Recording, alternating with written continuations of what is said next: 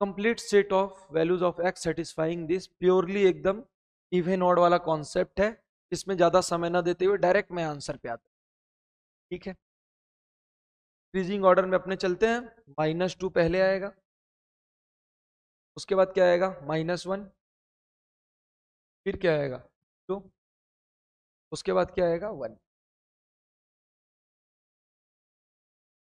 यहाँ तक सब सही चल रहा है हम लोग का पहले जो सबसे बड़ा होता है, उसके आगे प्लस तो दे ही देते हैं। वो वहाँ आया कहाँ से? वन जहाँ से आया है, उसकी पावर क्या है?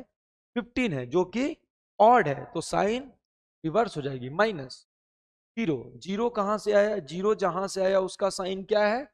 इवन है तो साइन सेम रहेगा। माइनस वन माइनस वन जहाँ से आया, उसका साइन क्या है? ऑड है तो रिवर्स हो जाएगा। टू टू जहाँ से आया साइन, इवन है तो साइन। अपने को पूछा है ग्रेटर इक्वल टू ज़ीरो मतलब प्लस वाला आंसर इसमें ध्यान ये देना है कि इक्वल टू है माइनस वन पे गड्ढा होगा क्योंकि डिनोमिनेटर ज़ीरो नहीं हो सकता। माइनस टू पे भी गड्ढा होगा क्योंकि डिनोमिनेटर ज़ीरो नहीं हो सकता, जबकि वन पे। वन अपना आंसर में है और ज़ीरो भी आंसर में है। तो अपना answer greater equal to zero तो आंसर क्या होगा?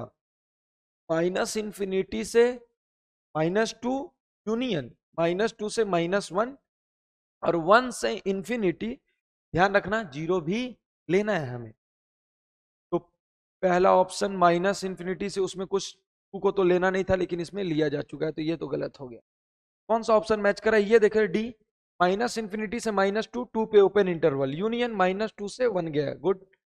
यूनियन, वन से इंफिनिटी और वो इस बात का ध्यान रखा है कि ये ज़ीरो जो क्लोज था उसको भी एक्स्ट्रा में ले लिया। तो अपना आंसर क्या हो गया? ठीक यहाँ पे मिस्टेक बच्चे क्या कर सकते हैं? वो प्लस माइनस प्लस माइनस वो देखेंगे।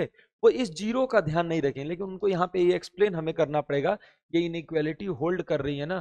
तो हो सकता है कि एक इंटरवल नहीं आ रहा है, लेकिन ज़ीरो जो क्लोज इंटरवल था, वो ज़ीरो उसमें टूट हो जाएगा, क्योंकि ज़ीरो रखते ही ओवरऑल ज़ीरो तो हो ही गया।